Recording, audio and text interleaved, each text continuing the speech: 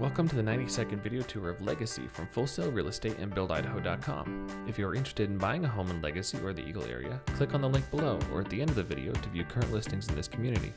Legacy is the largest lifestyle community in Eagle, which stretches between Linder Road and Highway 16.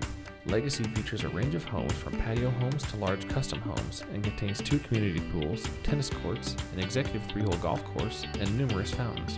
Many homes are waterfront property on the multiple large ponds throughout the neighborhood. The architectural features of the neighborhood and homes are inspired by Tuscan villas and outdoor living. Legacy is in the West Ada School District. Star Elementary School is a 10 minute drive down Floating Feather Road or Chinden Boulevard, also known as Highway 20.